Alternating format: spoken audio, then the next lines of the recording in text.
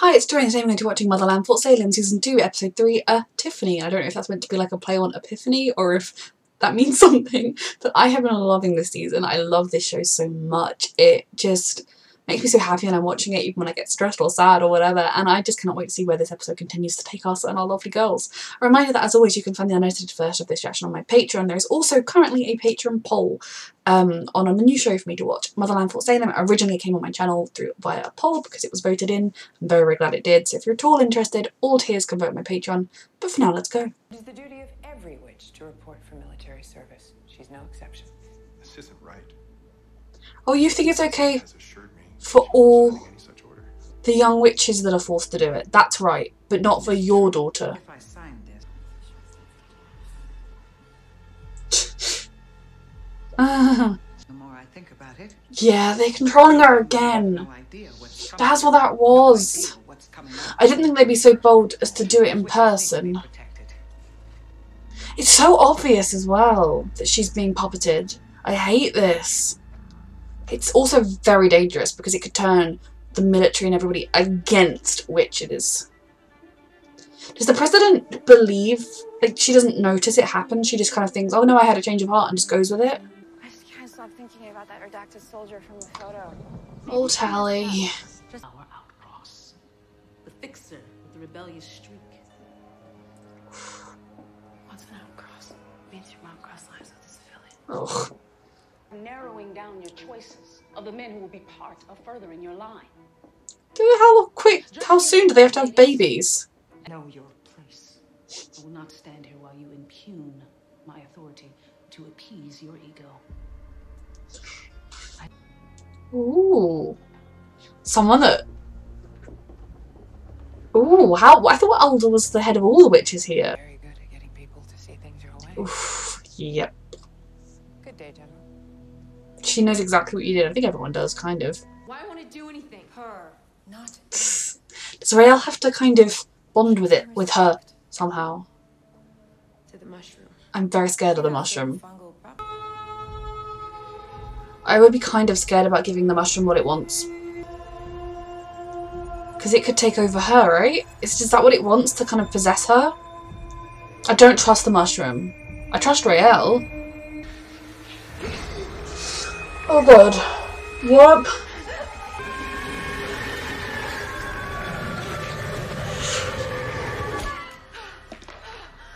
Oh god, thank you. Thank you, thank you. Skills help us win the battle, but breeding lets us win the war, dear. God, you're a prejudiced bitch. Like, You want me to let people. Gregorio Shellbark? Pass. Hmm. You are the earthquake boy. How do you? I have eyes and ears everywhere. He's I don't know whether powerful. Of a new line. In the military. Your hand fasting will take place at the end of this year. Oh my god. I hate how they can force her. Like, they think they can just force her to have a child. So you're a top secret military experiment. Hmm. Oh, she's reliving Alder's greatest battles, and me, well, I don't even get to choose who the father of my children is going to be. Well, does it help anything that neither of us can do what we've been doing on purpose? A little. yeah. Yeah. Until I melted the priceless stained glass windows with Satan's high C, and so my dad's face changed. Oh. Went from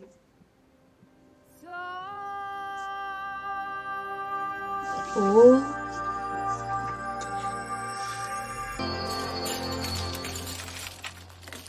She is very powerful and seven years bad luck. shit. Hmm. Guess it's a good thing the army doesn't kill normal people. Those spree do though. Yep, you're standing right next to one. I had to tell Brianna she can't play with her friend Tiffany anymore. A Tiffany. They found out she's a witch. How? I don't know what we'd do if we wound up with a Tiffany. Oof. Yep. She seems so approachable and so much likable, but she's still got such prejudice in there. I'm used to working alone. That's my issue. Not anymore. These two. Perhaps there's opportunity for an outcross to bloom after all. I'm not interested in hand fasting. Mm-hmm. More men. But you are still required to fulfill your obligations. So they have to have kids. Your mother did not hand back. Just like she did. Right. I understand this woman is being so prejudiced about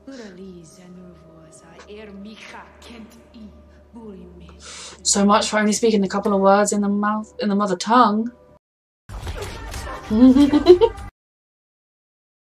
She's a lot of frustration right now. She will happily take it out on you.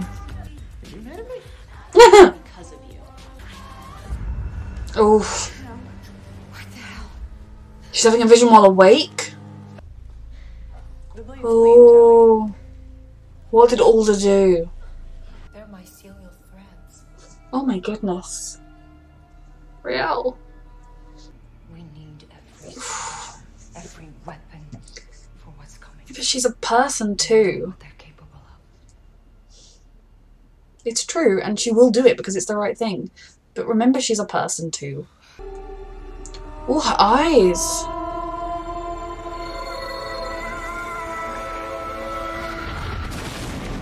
Oh my god! Whoa, Raelle is capable of a lot. Oh, Raelle, I love you. Reception. Yeah, At least you have something that sets you apart other than your womb. Abigail. Maybe I'll skip two. Maybe I've decided I want more for myself. Exactly. It's horrible that they have no choice and they're forced to do it. Like you're living somebody else. you just need to enjoy yourselves with some pretty boys. It just view this as a party. the. Though Abigail has Stop at a few. been told that she has to get married half-after this year, which means the babies have to come. Obviously, it's for the bloodlines, and I understand they need to keep making witches, but especially if they're finding more, do we really need to? Need to? School or Saudi's been to today. Oh my god! Find out why. Oh, it's undoing our magic. Run! We're moving to the older groups next month since kids' ears develop as they get older. Let me know if you get any wins. Oof. They're testing children for themselves. Why? Is it so they can? I mean, are they going to target children? Or do they want to brainwash children before they get to the army? She stopped a battle cold with a working that no one had ever seen before, and no witch has been able to successfully repeat. She wants that kind of Though to be power fair, for herself. unlocked the key since before my- Being defined by them as something else entirely. And that's kind of the basis of tradition, though, isn't it? So Don't we- you think she's not in the mood for this. If Jem made a working that could stop at Oh, Abigail. maybe it's time for another bellwether to build a working, That is a. one that could end a war. Oof. That's non canon. That's illegal, I guess. Is Abigail going to do something reckless that's going to tie in with, like, the visions Tally's having? Also, don't tell anyone what I'm doing. Well, you haven't told me, oh, so it shouldn't be that hard. Oh, Tally, I love you. I've never seen anything like it. Hmm. Good. no pressure then. Oof. Mm.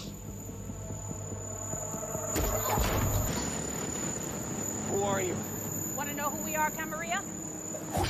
Yes. Not so cocky now. This is hell on earth. The pressure that, like, you all have to marry someone, or at least, you know, I know it's not forever, but you have to sleep, make babies with people here. Oh, Tally.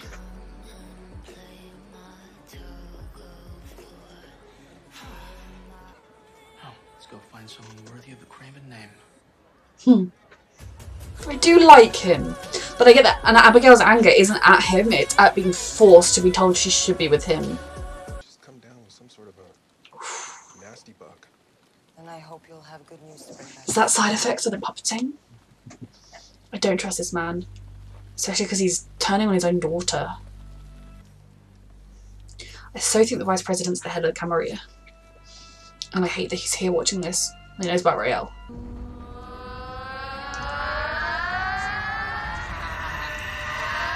She's doing it.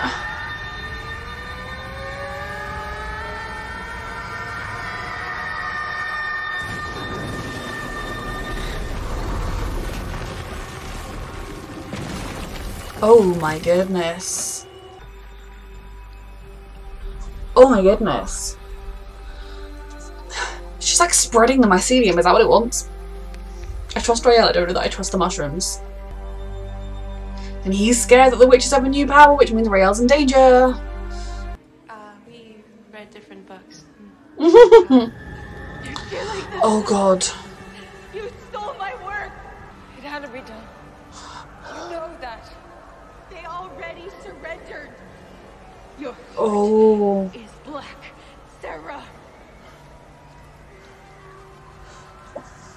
Oh god, so she was the first spree attack, essentially? Oh, Tal- I'm so scared Tally has knows all the dark secrets.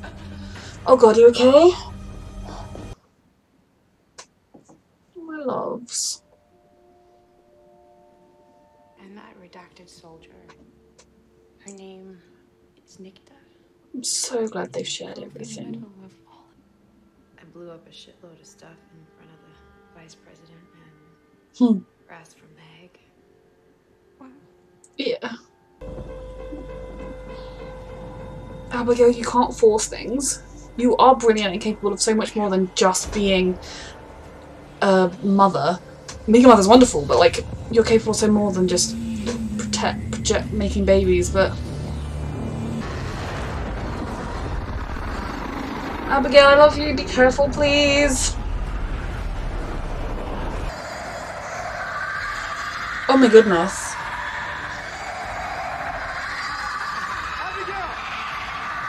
Abigail! What did you do? It's killing her, it's too much. She damaged her vocal cords. Abigail. Sweetheart. Don't end the episode, please. Please don't. I want to watch more. Okay, that was fantastic. Um, this episode, every show, every every episode of this show is fantastic. So the ending, Abigail is struggling with being, as she sees it, like the least interesting one, or like you know the least important and powerful one. Now, I disagree thoroughly. Me saying that does not mean I believe it, but I just know Abigail, especially being a bellwether, being first of all being brought up, always told you are the best. Now go be the best. But that combined with um her kind of realizing now that she doesn't want to just be a bellwether. You know, various things that when her cousin told her, "Oh, of course you're getting into war college, you're a bellwether," and she wanted to earn it.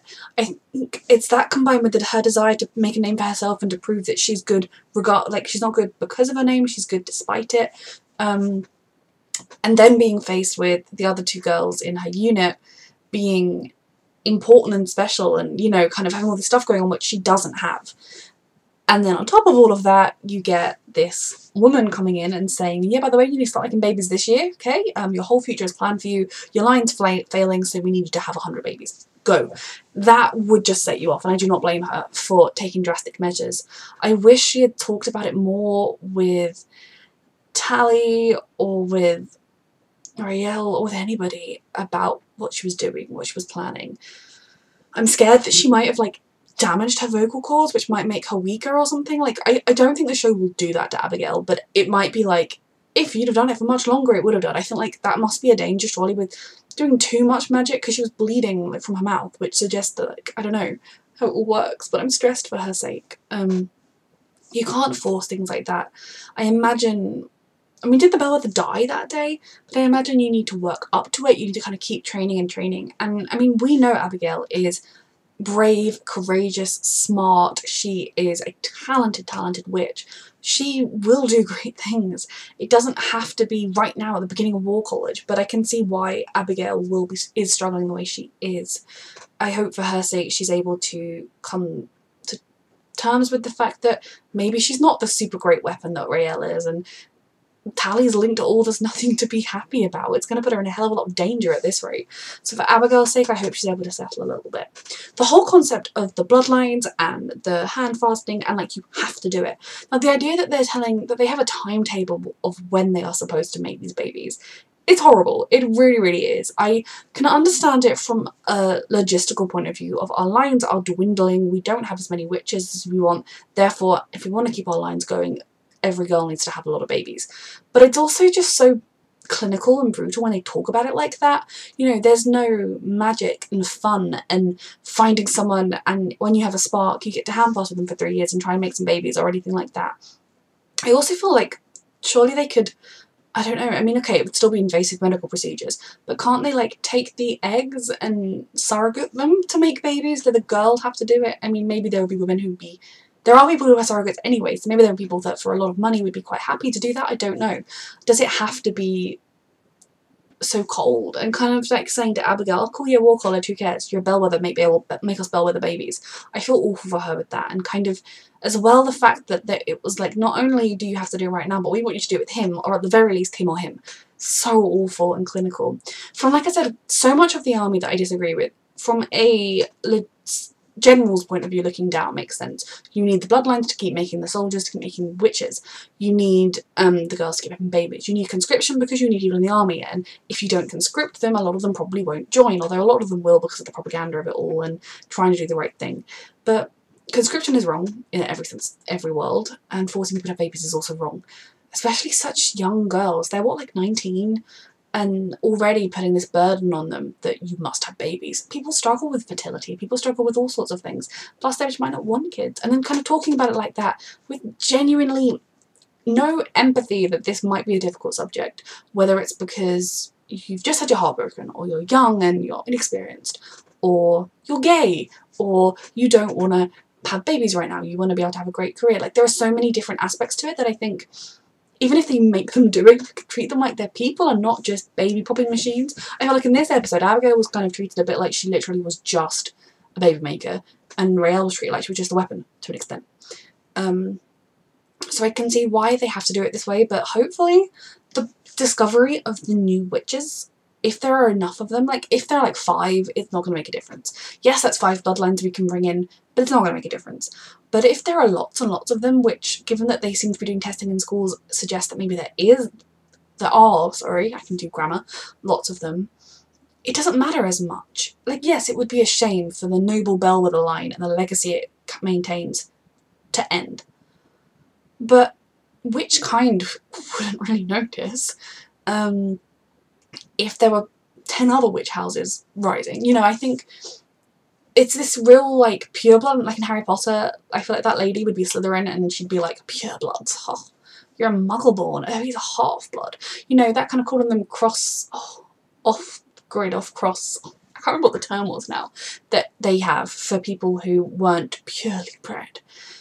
It's just, oh, it just sets your teeth on edge, especially because, like, Raelle is epically powerful, and she was before she touched the mushroom. she was just as, she had her amazing powers of fixing or healing or whatever they call it before she touched any old mushroom. So it doesn't matter. And Tally is very powerful despite growing up in an unconventional way from them in her matriarchal society. Just, it doesn't sit, and I know it's not meant to sit right with you, so of course, like, I know that's the whole point, but it just, it's icky, and they're kind of devaluing these people, and being told, like, here are the 20 people you must have a baby with, it's weird. Um, like, I can totally understand the need for it and why they do it, but it's weird. So for Abigail, I'm worried about her because she's struggling. I'm hoping there's not going to be any permanent damage or she's not going to get in any permanent trouble or anything with what happened. I hope that it's kind of just going to be a thing that she did and that if she is serious about wanting to try to create some new work, that she takes it slowly because you can't just decide tonight I'm going to make some new work and go and do it. It will take thinking and practicing, testing, oh, could I mix this seed with this seed, like all that kind of thing. I, I don't know the logistics of it, but it would take a lot of work. Um, and it is potentially dangerous if you create something epically powerful when it gets into the wrong hands, as happened with Nicte, I think her name was. So then we have Tally. I felt so bad for her being disbandoned to go to the function on her own. Oh, it was awful. And like, that's not even just, you know, you go into like a dance and you kind of expected to dance with some people. That is like, in this room, your father, the father of your children, or at least a child, is here. Oh, that's just so much pressure, so much expectation. Um, I'm glad you had Gregory or Gregorio because um, he is a good guy. I really like him. And I get that like Abigail venting her anger on him, it was because she, like people want her to marry him and she doesn't really have a choice in the matter.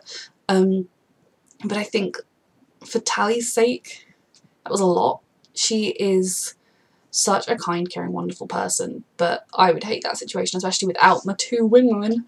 Um, and then not only that, but she's now collapsed in front of everybody, so are they going to be, there's a lot going on. Now with Tally and her visions of Alder, she saw blood on the blade.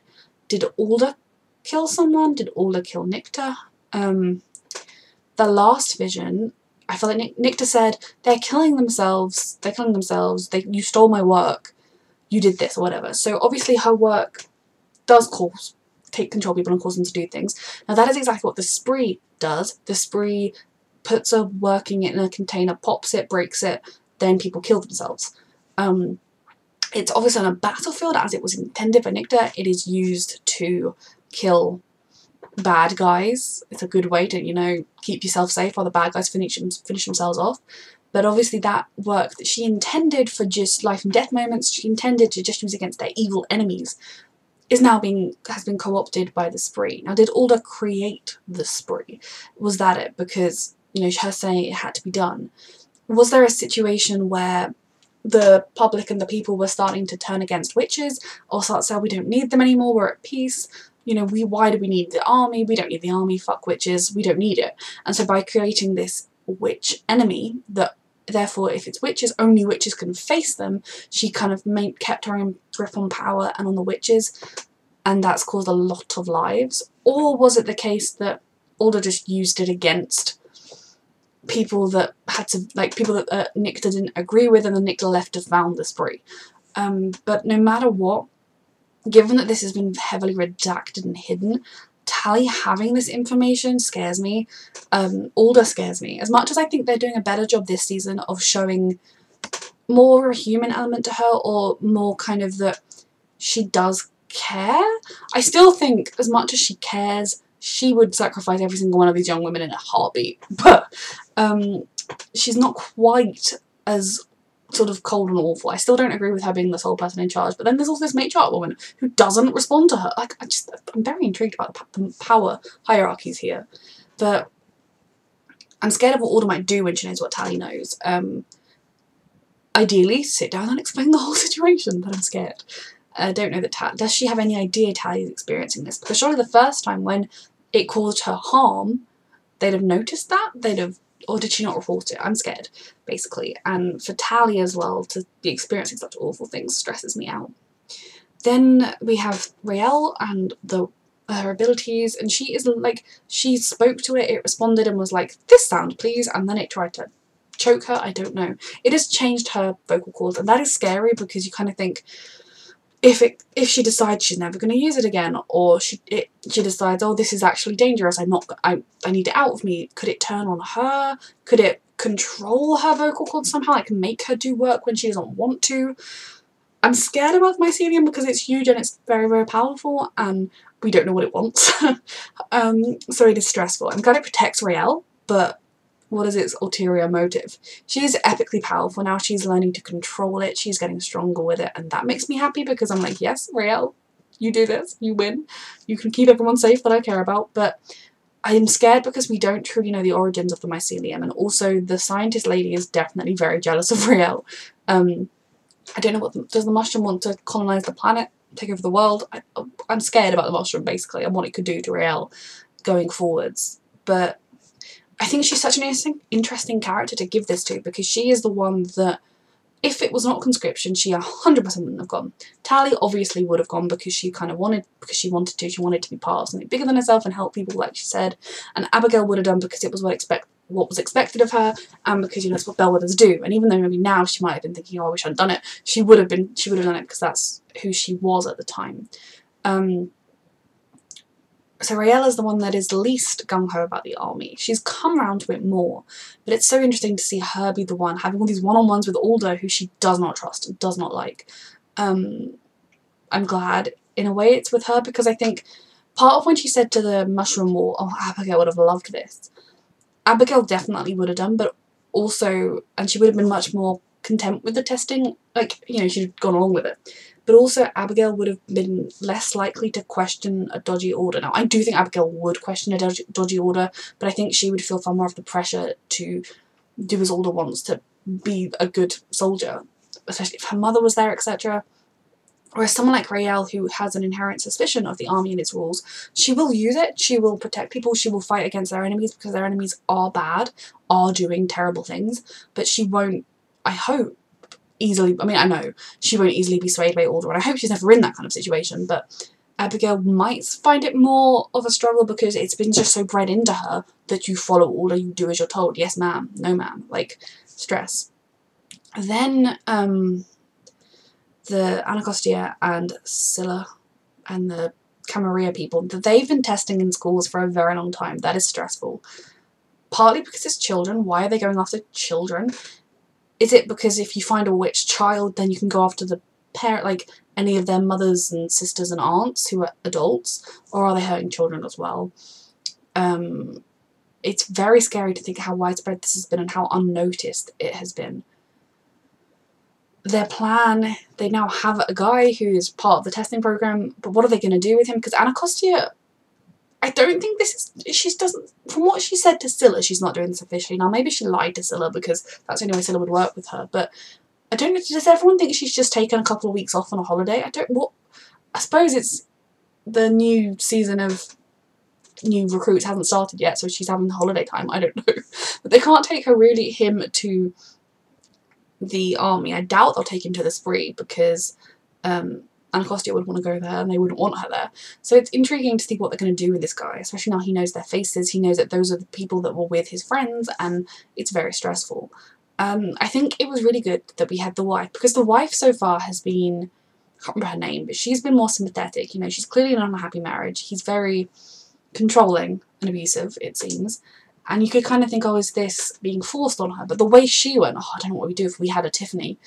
You know, that wasn't any of what he'd do. Or it was kind of just her genuinely being like, oh yeah, me having a witch as a daughter would be the worst thing in the world. Now for me, if I was in that kind of situation where it was like, I would be terrified of my daughter being conscripted. Um, although actually I probably would be of recruitable age myself, but you know, if I was in this situation and I had a daughter who was in her, any daughter, I would be scared that if they were a witch, they would be conscripted and they would be forced to fight and see horrific things and potentially die. So that would scare me, but them being a witch wouldn't scare me. It would be what that meant, but it didn't seem like that for her. And it was a good telling reminder that while she is more sympathetic, she is still believing in this rhetoric and she still buys into it. And I do wonder if we're going to learn that whatever Alder did got it into the hands of the spree, this new magic, or like I said, she created it, and this is kind of her fault, but not her, but not what she intended. I think she genuinely does mean well. I think that's what Tally sensed when they were linked. But meaning well, you can mean well and then hurt a lot of people, but you know, the end game was good, so it's okay. Stress. I feel like I probably missed something, but this... Ugh. Or them puppet, they're still puppeting the president. That wasn't a one-off thing, that is a permanent thing. Whenever she's not doing what they want, they just go, ooh, and then the president was like, oh yes, I will. I have changed my mind. It's so obvious, like, even the vice president must notice that that was very obvious. The way she changed her mind with barely any thought, the way she changed her mind so wholeheartedly, just sat down and signed it. If that happens too many more times, he will notice. Now, the fact that the president was ill, is he, like, killing her? Because I think he's the head of the Cam Camarilla, or if not, he at least agrees with what they're doing.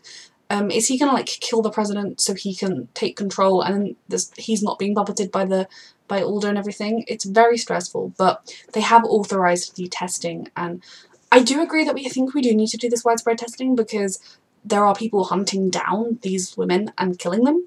So you'd want to know if it was your if you were going to be hunted down. The horrible thing is that they're all going to be conscripted and they don't have the years of brainwashing and or at least they haven't lived their whole life preparing for it. It's going to be a lot. But Tally's friendship with oh, the vice president's daughter, whose name I've forgotten again, um, I really, really enjoy that she's helping her and in a way showing her that she can approach the work, for now at least, slightly differently. She can do it through music and through the her past life can help her flourish in her new life and I loved that. So yeah, this was a brilliant episode as always. A reminder that you can find the unedited version on my Patreon. I'm not entirely sure, I don't know if anyone even watches this far, if you do, hello. I'm not entirely sure if this reaction will be up on Wednesday next week because it is my mum's birthday, but I will be getting it up Wednesday or Thursday. So yeah, thank you so much for watching.